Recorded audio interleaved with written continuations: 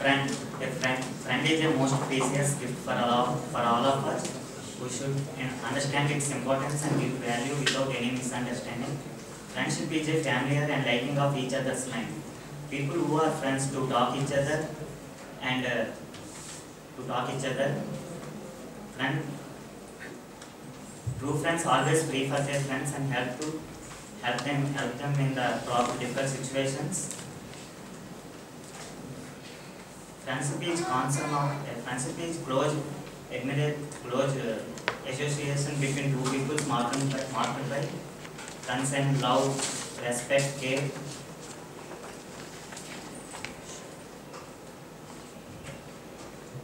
True friends are never see the caste, creed, religion, and color of a person.